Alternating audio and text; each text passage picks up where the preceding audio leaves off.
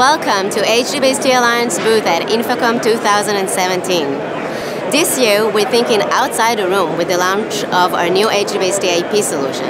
HDBaseT IP is an extension to the HDBaseT standard, bringing new possibilities and new offerings to the HDBaseT users. Join us when we set AV free with HDBaseT.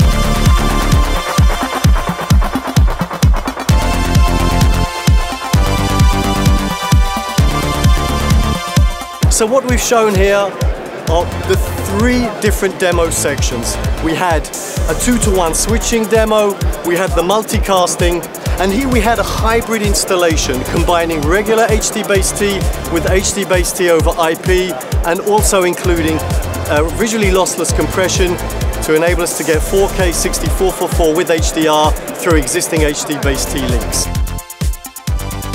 Hi, I'm Paul Harris with Aurora Multimedia and I'm here to present our new system. We're a member of the HDBaseT Alliance. We're one of the adopters there. And we worked in conjunction with HDBaseT and Valens to bring you this great innovation that we're showing at InfoComm 2017.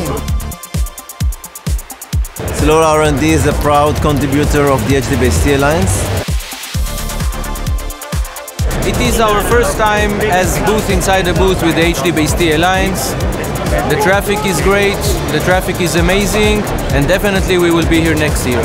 So today we're gonna see some of the true stories, the successful story or the HDBaseT installation of our uh, some of our projects and customers. This year uh, with HDBaseT Alliance, we work with them to have our booth right here with the 2x2 video wall live demo, as well as the 30 minutes presentation and the panel discussion. One of the huge benefits of HDBaseT is the ability to do the fifth signal or the power down this, the capability of doing up to 100 watts. Belden is very pleased to have been part of the HDBaseT Alliance Train the Trainer program.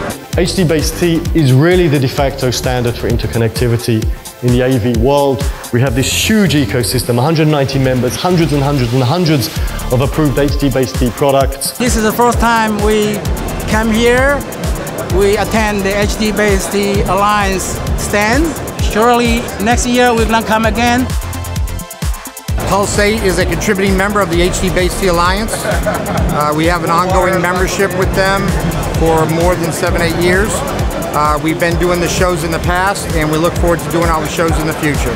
We design and manufacture electronic modules that provide POH for HDBaseT systems. This is Transformative Engineering's very first time appearing at InfoComm, and all thanks to the HDBaseT Alliance.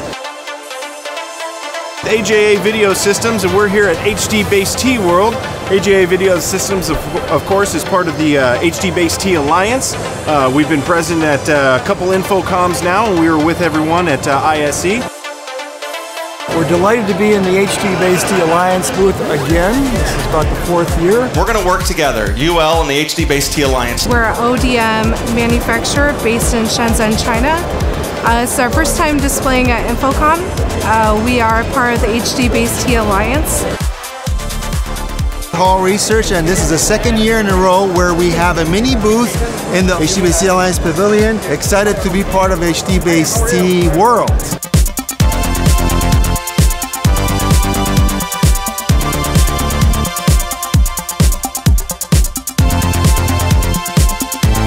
One thing about the HDBaseT IP is you can build on your existing infrastructure. It's a standard that's already been available for years and years. Its only difference is we're moving it now into the 10 gig realm over an IP network. So I think everyone wins in this situation, and the combination of HDBaseT and HDBaseT IP is a great combination. Stay tuned, there's a lot of things to come.